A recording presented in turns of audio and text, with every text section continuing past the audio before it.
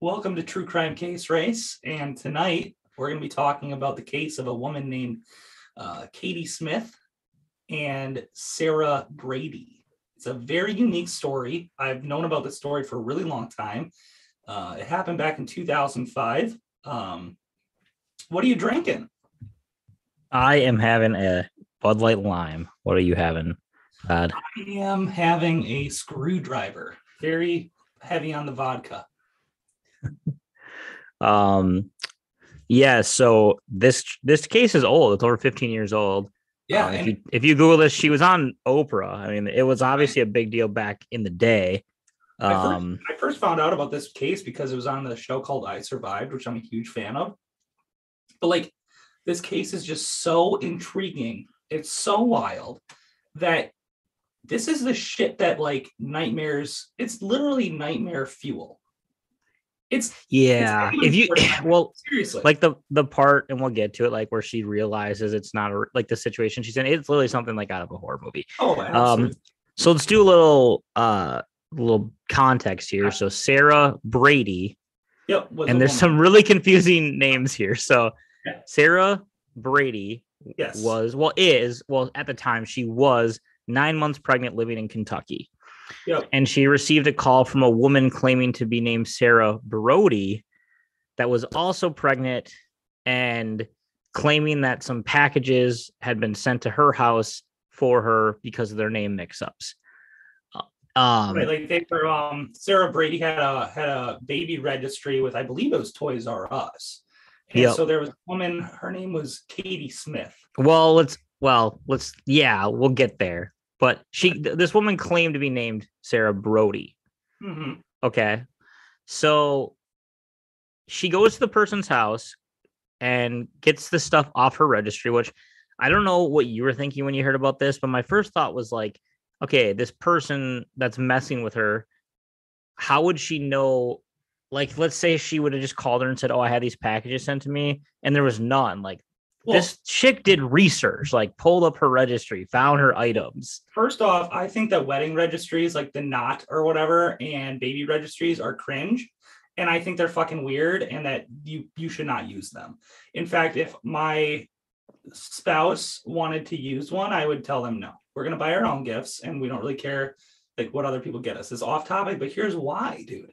I've heard so many fucked up stories, this one included, about people like commenting weird shit on people's like the not postings. I believe you had a friend that had some shit like that happen to them about them like talking shit about the groom. You know, you hear all these. Oh my god, I forgot about that until Yeah, right now. Because it's such an invasion of privacy. Like you can, it's such a weird, easy way to stalk people. Like looking up their wedding registries, looking up their pregnancy stuff. Like It's going to show the address that they want it shipped to. Why would you ever put that shit? I this is 2005, so Facebook was like just starting to be a thing. MySpace was a big thing back then, but still, it's to me, it's stupid. And I We're gonna have to we're gonna have to talk about that actually off air because I totally forgot Oh about yeah, the person Well, you're talking about. But yeah. um yeah, so and then keep in mind I'm sorry, keep in mind like this is 2005. So you think about the shit you could do nowadays. Like this is like Oh. the early we're gonna call this like the early-ish era of the internet. Like yes, it's been around for a while, but like social media and things like that had just started to become a thing. yeah. 2005 was like when the internet, I believe, truly like YouTube was invented in nine or uh, I'm sorry, 2005. So Yep. that's that's when things really started to rock and roll. So this Sarah Brady goes over to the alleged Sarah Brody's, gets this gift, which was off a Toys R Us registry, and like this is where this starts to get weird. Is their first interaction went normal? She gave her the gift. She's like, "Oh, yep, this was my gift. Someone must have got it for me," and she leaves. but they didn't know who got it for her because they claimed that it was like an airmail or or what the fuck. I don't know. I don't know what it was called back then. It was uh, basically you couldn't figure out who it was from, but they had like paperwork that went with it. So like she was like, "Hey, I lost the paperwork for this, but like we'll we'll figure out who it came from eventually." But there were Yeah. that Sarah Brady picked up. Yeah, and I'm not gonna call the alleged Sarah Brody smart, but she definitely did her homework So so on this whole situation. Sarah Brady was 26 and the alleged the the woman who went by Sarah Brody was 22. So there is a maturity difference there. 100%. Yeah. And she was claiming to be nine months pregnant and overdue. The Sarah Brody was. right. Um, so then after she gets the first package, she goes home. Sarah Brady actually was overdue. She was five days overdue. Sarah Brady was actually overdue. Okay. Sarah- which Sarah I find they were both they both claimed to be nine months pregnant. Sarah Yes, Brady yes. was. Sarah Brody was not. this is also a bit of a strange thing because again, maybe her fiance, Sarah Brody's fiance. I'm sorry, Sarah Brady. See, this gets a little confusing. Sarah Brady's fiance let I'm surprised he let her go somewhere. Now, this is kind of just the age old thing of like we trust these people, we don't think they're bad. Uh, you know, especially in 2005, 2006, you don't hear as much about this shit, you know. So Sarah Brody calls Sarah Brady, say, Hey, I got another package. They end up talking on the phone for like an hour. And she's thinking, like, I might have just met a real friend. You know, I might have been somebody that I can get to know. So what too, probably, right? yeah, good point. I mean, because they're like the same grade, and that's pretty cool, Yep. right? Rare. yep. Because I think it was a small town in Kentucky that they both lived in. So Yeah, it was um I I've got it right here. It was um it was in Fort Mitchell, Kentucky. Yeah. So what happened next? Why don't you why don't you lead in into to that So- Todd? That afternoon, Sarah Brody claimed to get another package in the mail and called Sarah Brady. This time they spoke on the on the phone for about an hour, and Sarah Brady just kind of thought it was a little weird, but was like, "Hey, I'm just chalking it up to the fact that this one is just a lonely pregnant woman," and she had decided to come pick up the package at 9 a.m. the next morning. Well, she went to go pick up the package the next morning, and Sarah Brody kind of invited her in to go look for and asked her for help looking for information about like you know the paperwork. She was like shit i know i've got these you know the, the paperwork here of like who this stuff is from. Why don't you come in and help me take a look for it? And sarah brady who has done a few interviews but kind of has fallen off the face of the earth. Like i've looked i've tried to look for her on facebook and stuff cannot find her anywhere she did have a book called saving grace which i, I probably would like to read um was was basically like, hey, yeah, I'm gonna come in, whatever. We'll we'll um we'll look for the paperwork. And as they're looking around, Sarah Brady just got like a weird feeling, and she ended up actually looking at the woman's like dresser or nightstand and saw a um what is that called? Asthma Inhaler, inhaler. inhaler, and it said Katie Smith, not Sarah Brody. And she said even before that, like the girl, the alleged Sarah Brody, asked her to come into her bedroom, and she thought that was kind of strange. Which is crazy too, because if she doesn't go in the bedroom, she doesn't see this inhaler. Right. Which you know, and we kind of hinted at this in the beginning, like that's like something out of a, a horror movie. Oh, that's like, oh, we just, I just realized this person is not who they say they are. Why are they hiding who they are? I Yeah, literally can't even imagine it, dude. I would freak out, dude. I would freak out. I think it's such Yeah. a strange situation. And, you know, so basically, Sarah Brody ended up attacking Sarah Brady. Well, it was Katie Smith who attacked Sarah Brady. And Yes. Well, she went to give her a hug. This is Mhm. weird. She asked her if she could give her a hug when she left, and she didn't want to give her a hug, but she gave her a hug. And then Katie Smith like started squeezing her really tight and then pulled out a knife. right. So then she knocked the knife out of her hand. Said they fought for like 20 or 30 minutes. Yeah, 20 minutes. Yeah. Um, and then she ended up stabbing Sarah Brody stabbed Katie Smith. These names are really confusing. Mhm. Um, and she ended up dying, correct? Yeah. She died. Yeah. She stabbed her and she died. And, um, you know, I've got, I don't have mixed feelings about it. I think, I think Sarah Brady has mixed feelings. She's got to live with that. Yep. You know, her daughter's now what, 15, 16, and also has to just hear these stories about it. And it's like, it's really overwhelming. And, um, This has happened too. This is like this is a thing that they call them like tomb raiders or some shit. yeah, womb, raiders. Womb Yeah, which is yeah. insane. And like this has Yeah. happened. I remember a case. I saw another thing about it today. Actually, that's how I came up with this this content because I was watching a different case about it. But Sarah Brady said that you know she felt like an instinct, like something's wrong, you know, and you're your intuition, and you got to follow that. And she said the hair on her arms just stood up, and that's fucking freaky, dude. Dude, uh, I just thought of this in real time, and we'll have to do some research on this because we could do a podcast about this. And sorry for the uh, extra little bit here, listeners, but I'm 90% sure that there is a case that has come up in the last couple years where there was a girl who was like 18, 19, 20 now. She Mm-hmm. found out that her alleged mom killed her real mom and cut her out of her stomach while she was a, like a baby. I'm What? 90% sure this is a real story. There's shit like that that's happened, yeah. I But mean, then she found out that her mom is not her mom. That's Well, crazy. Well, there's a lot of like hospital kidnappings, that have been Right. Real recently too, and with all this like genetic stuff, like um, ancestry.com and shit, it's becoming more and more um prevalent. You know, where you're finding these kids that have been missing for fucking 18 years because they applied for college, and they're like, your social security number's invalid, right? Yeah, they're they're hidden in plain sight this whole time. They don't Yeah. know, you know, they don't know. There's like a Taylor Lautner movie about that, but um yeah, I Here's you know, it, here's where this case gets even weirder. Here's the most fucked up part, and shame on Katie Smith's parents and her family. They're the ones that came back and tried to convince the detectives that Sarah Brady wanted to sell her baby to Katie Smith for oh, I, five thousand dollars. I did not know that. Yeah. So the the uh, Katie Smith is fucked in the head. Obviously, If she had mental problems. There's no excuse. Well, her family obviously has mental problems, and you guys can go fuck yourselves. And that's what we're here to do: is call you out and say you're fucking losers, and roast you because you're fucking idiots.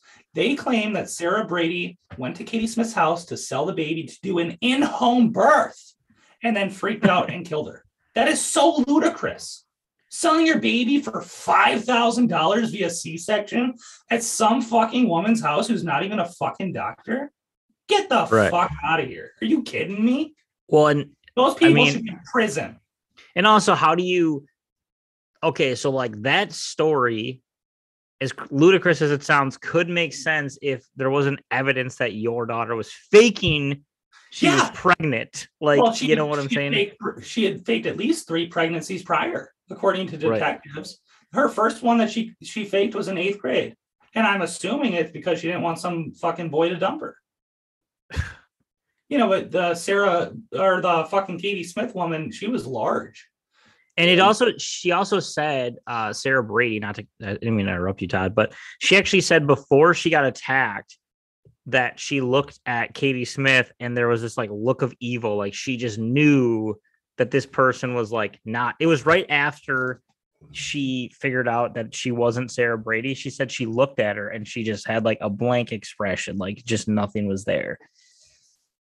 Which obviously this person's a total, you know, psychopath. That's obvious. Right. Um, you know, lying about who they are, attacking her. Um, Well, was there ever any debate about it being self-defense or was it straightforward? I mean, it was No, I, obviously. I think it was pretty fucking straightforward. That's a Yeah. pretty straightforward thing. I mean, um, the, the the most fucked up part of this whole thing, and it's traumatizing probably for the actual Sarah Brady, is that they made her do a six hour um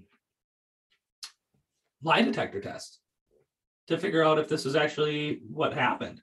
And it's just crazy to me that they made her go through that. And I really feel for this woman. And if she's watching, which she's probably not, but she could. I mean, she could YouTube herself or you know, search right. herself, and we just right. want to you the best because we realize that you went through a really fucked up thing. And I don't think that I don't think that this woman gets the credit she deserves. I truly believe that. No, I, I mean. Sarah Brady. I mean Sarah Brady is a survivor. I think that's the thing people got to, you know, uh, because a lot of times this goes the other way. Like Yep. I said about that Oh, case, I'm- yeah. you know, I think there was another case a couple years ago in. Kentucky, one of those areas where a lady was caught, you know, trying to cut a live baby out of the moon. The mother was already dead. I mean, this shit it happens. I don't know what fucking rabbit like rabbit hole. It's not the word. What insane path these people need to go down where they don't think adoption. Well, here's the craziest thing, dude. Yeah, like where do you? How do you get to that point? That's what. That's what I was Katie getting. at. Was 22 years old. Right. Unattractive, unattractive, but 22 years old. So, in what mindset are you thinking that you can't get pregnant? Most people Right. don't realize that they can't get pregnant until they're like really trying. I don't know if she had a husband or whatnot. I haven't done the research on that. Guilty as charged. Doesn't like, sound like it from You what know, we're what we're hearing. How many people do we know that got pregnant by 22? Four. You know, like if I'm trying Yeah. to have a family right now, then I might have concerns. I'm, you know, in my 30s. You know, then you might start having some concerns saying, well, maybe I can't get pregnant, maybe, you know, blah, blah, blah. If you're 22 and you're having trouble getting a, a baby, there's so many options, dude. In vitro, you- I don't know if in vitro was a thing back then. It probably was. Probably Well, you get a you get a sperm donor. You could, you know you could get Well, adoption. I mean, there's a lot of foster care is literally like free. Okay. yeah, adoption via state is like free. So like right. to fucking cut some newborn out of some woman's that to like womb is just literally insane to me. I don't know. I'm really happy we covered this because it's a it's a it's a crime that was committed that's been on my mind for so long and I'm really happy that we were able to really talk about this and I hope our viewers enjoy it. Um, speaking of losers, Todd, just a quick transition because we probably should quick talk about this just because we've done two episodes. We kind of had our final thing on the Brian Laundrie Gavitito case. Do you want to talk Right. about that at all? Um, Sure. basically, it came out that he shot himself.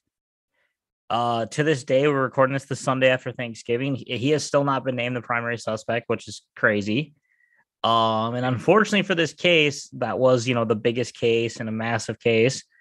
It looks like it's just going to go down a murder suicide that got dragged out um, over the course of weeks and weeks. And you know, it's really sad because the parents aren't going to get the justice. You know, and I think that's an insane highlight, or not highlight. I'm sorry, that's an insane hindsight example because what is people can act like, oh, I want to see Brian Laundrie go through court and get the guilty verdict and go to prison. But do you really want to see that kid who killed your daughter in front of you every day for weeks on end, or do you want him just to know he's dead? I know that sounds really morbid. Uh, I think that they wanted him to spend every fucking because he was such an outdoors guy and loved the outdoors. They wanted to see him in a fucking concrete, you know, metal cell.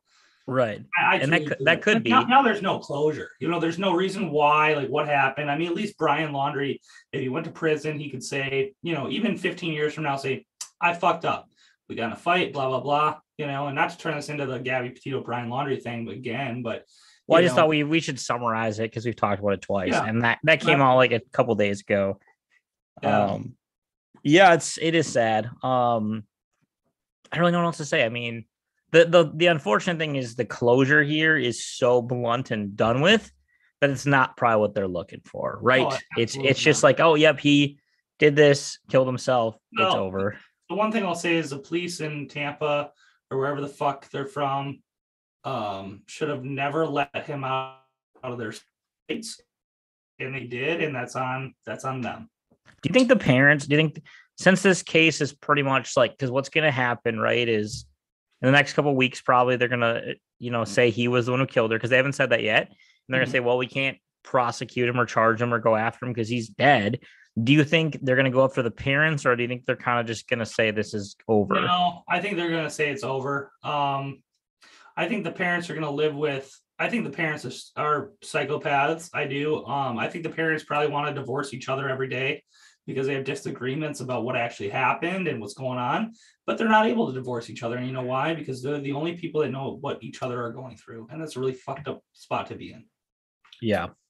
You know, and and they'll they'll they, they know what they did. They they Yeah. know that they knew more and they gotta live with that. And I'm not saying that they're in the right or the wrong for it.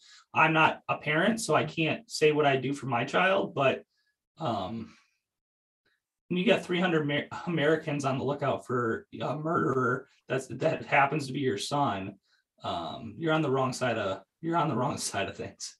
Yeah, yeah. I mean, the only thing I will say is, you know, that we know of is him getting away from the Tampa police didn't really lead anything else. Like, there's not other people he might have killed. All it did was string out the investigation, right? Because by the time he got home, that Gabby had already been killed. So it's not like him slipping away changed the order of operations, if you I will. mean, it, it it changed the fact that he he killed himself. Well, yeah, that's true. But You he could have he- could have done that in the house. He could have done that in the house too, though. That's True. I didn't really. Yeah. I mean, yeah. Stupid. Stupid me. You know, I'm sure he that gun somebody had it or somebody gave it to him. Well, You that'll know. be interesting to figure out whose gun that was. Um yeah, so I don't have anything else to say. Pretty short to the uh, pretty short and sweet. Um Yeah, but a good episode. I, I feel. yeah, if you're curious to know more or kind of see just what her side of the story, you know, look at look up Sarah Brady because she literally was on Oprah and Yeah, uh and I survived, and uh, we hope we wish her the best. Hope she's doing well. Um, I guess if you guys want to see more stuff and want to see us keep doing this, we really enjoy doing this. Please uh, like, subscribe, and comment your uh, your opinions about this case and any other case. yeah, we really are. You know, I, I made the mistake in the last episode of saying what we're going to talk about next. And I apologize because I don't like to, we don't like to say what we're going to talk about next because stories pop up all come. Yeah, like Gabby Petito kind of came out of nowhere. The Kyle Rittenhouse trial, I mean, came kind of out of nowhere. Ghislaine Maxwell is coming up, but we're not sure how juicy that's going to be. Probably. Yeah. What I can say is we're definitely going to be talking about unsolved mysteries because it's a super interesting topic. And I know you and I, Todd, talked about this when we watched this show, much like how the internet community kind of helped the Gabby Petito case. I do wonder with some of these unsolved mysteries if like the Netflix series Oh. or if podcasts being big could actually help them. I think absolutely. Bringing. I think to a big highlighting, yep. I think highlighting them um is a really good idea. So we're definitely gonna be talking about those. I guess I should have just messed up saying we I messed up by saying we're gonna talk about them next. That's my bad. Um yeah. So anyway, for Todd, I'm John. Thanks for listening. Thanks for checking us out, and uh, see you guys next time.